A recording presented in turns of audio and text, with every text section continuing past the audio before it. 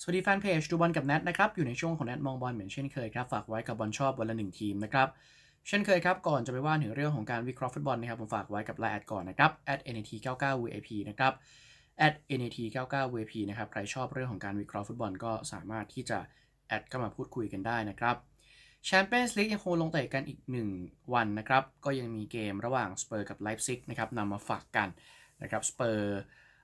อันดับที่ 6 ในพรีเมียร์ลีกนะครับ แล้วก็ไลป์ซิกจ่าฝูงบุนเดสลิก้าทีมล่าสุดนะครับ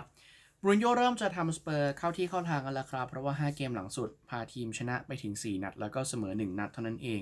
นะครับซึ่ง 4 นัดที่ว่ารวมถึงเกมในบ้านที่ชนะแมนซิตี้ 2-0 ด้วยนะครับ ส่วนไลป์ซิกเริ่มจะฟอร์มตกลงไปบ้างแล้วละครับ อาจจะมีนัดล่าสุดที่กลับมาชนะเบรเมน3-0 แต่ว่า ก่อนหน้านี้นะครับอีก 4 เกมนะครับไม่ชนะใครเลยนะครับ ฉะนั้นฟอร์มโดยรวมของไลป์ซิกดูจะตกลงไปบ้างครับความพร้อมของสเปอร์ค่อนข้างจะน่าหนักใจตรงที่ว่าซนฮึงมินนะครับต้องรักษาการบาดเจ็บที่บริเวณแขนนะครับ ก็ทำให้ต้องพักยาวหลายสัปดาห์นะครับ ส่วนผู้เล่นรายอื่นก็เบนเดวิสเจ็บนะครับ ฉะนั้นจาเฟตทันกังก้า แบ็กซ้ายดาวรุ่งจริงๆเขาเล่นเป็นเซนเตอร์นะครับ แต่ว่ามูรินโญ่จับไปปั้นเป็นแบ็กซ้ายแล้วก็เล่นได้ดีนะครับเซนเตอร์ยังเป็นดาวินซอนซานเชสกับโทบี้อัลเดอร์ไวเรลด์แล้วก็ฝั่งแบ็กขวายังเป็นแซร์จออริเย่ครับตรงกลางโจวานี่โลเซลโซแฮร์รี่วิงส์ครับแล้วก็ด้านบนเนี่ยสตีเฟนเบิร์กไวน์เดเล่อัลลี่แล้วก็อาจจะรวมถึงเอริกลาเมล่านะครับที่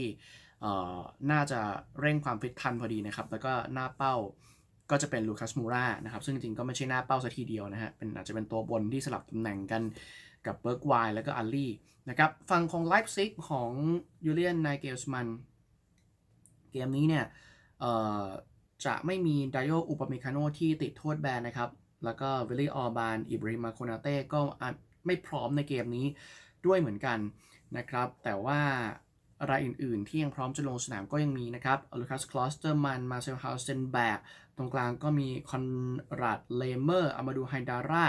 มาร์เซลซาบิตเซอร์นะครับ แล้วก็มีดานี่โอลโม่ปีกตัวใหม่ ที่เพิ่งจะย้ายมาจากทีมอย่างดินาโมซาเกรบในโครเอเชียนะครับ เป็นปีกชาวสเปน แล้วก็ด้านบนนะครับติโมแวร์เนอร์จะเล่นร่วมกับแพทริกชิคนะครับ ก็แน่นอนแหละ ถ้าดูตามตารางคะแนนนะครับไลป์ซิกดูดีกว่านะครับ แต่ว่าก็ประมาทสเปอร์ของมูรินโญ่ไม่ได้เหมือนกัน แม้ว่าจะไม่มีซนฮึงมินก็ตามนะครับ แต่ว่า